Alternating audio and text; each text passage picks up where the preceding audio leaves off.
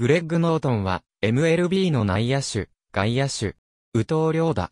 アメリカ合衆国カリフォルニア州サンレアンドロ出身。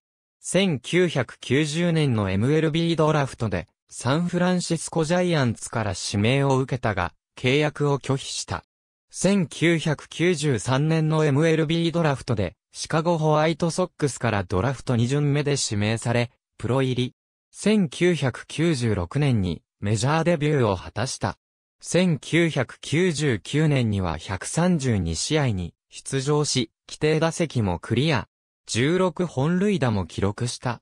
2001年からは3年間コロラドロッキーズでプレー。3年間で344試合に出場するなど、なかなかの働きを見せたが、その後2004年から2006年までの3年間は、目まぐるしくチームを渡り歩いている。2005年は移籍の影響もあって、メジャーで1試合も出場できなかった。2006年は、タンパベイデビルレイズで98試合に出場し、打率296、17本塁打、45打点と、自己最高のシーズンを送った。2008年にシアトルマリナーズとキャンプ招待選手としてマイナー契約を結んだ。開幕メジャーはならなかったが4月11日にメジャー契約を結び昇格を果たした。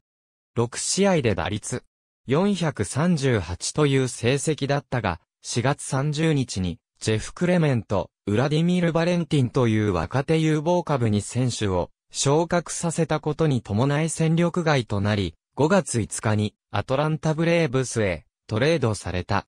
ありがとうございます。